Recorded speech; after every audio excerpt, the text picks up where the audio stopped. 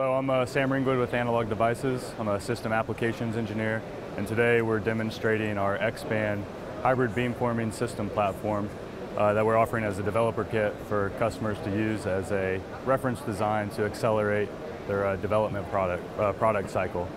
So what we're showcasing today in this uh, demonstrator platform is a 32 channel hybrid beamforming uh, phased array radar that consists of our uh, Stingray board, the ADAR 1000 Eval 1Z, um, beamforming IC prototyping uh, board.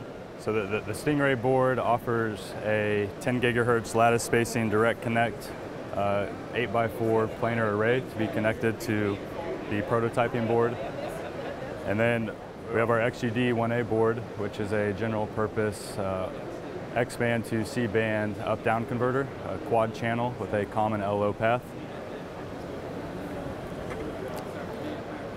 We're also using the, uh, the 8981 high-speed converter chip, which is a 4T, 4R, uh, 12 gigasample per second DAC, 4 gigasample per second ADC in our uh, signal chain. So what we're demonstrating here today is uh, the hybrid beamforming uh, capability of the X-band platform. So we have a 10 gigahertz point source in the front and we're measuring uh, in the signal chain, the receive mode, the, the output uh, tone. And as we beam steer our uh, electronically scanned array here on the front, we're observing the, the output power magnitude vary, vary as the, uh, the beam deviates from bore sight. And a really nice feature of this uh, platform is the, the, uh, the, software package that comes with it. We're, we're, offering the full hardware reference design, but we also have a uh, software stack that is available and open source to customers that is created by Analog Devices. And we're using a MATLAB user space, uh, which is able to communicate to the, at the, the HDL level of the devices within the signal chain for programming and adaptability.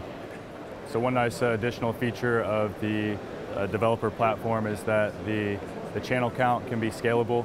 So we're showing a 32 channel uh, hybrid array, but the beamforming prototyping board uh, can be stacked in the vertical direction to increase the, uh, the element count to 64 and, and uh, expand it in the horizontal direction to achieve, say, 128 element array. That leads me into the, uh, the QuadMXFE uh, uh, developer platform that we're offering that can be paired with the, the X-band uh, developer platform for the larger array count. So instead of a single 8981, we can expand to the QuadMXFE for four 8981 for 16 transmit, 16 receive channels, which is shown over here on this developer platform. So the XFE demonstrating platform that we have shown today is a, uh, to demonstrate a 16T, 16R digital beamforming uh, phased array capability um, across L, S, and C bands.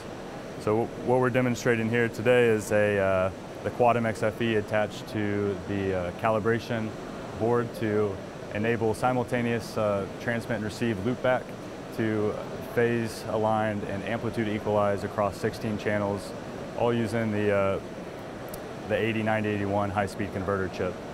Um, that implementation is enabled with the, the, the, high, the 4 gigasample per second ADCs, 12 gigasample per second DACs with hardened DSP on the chip across frequency.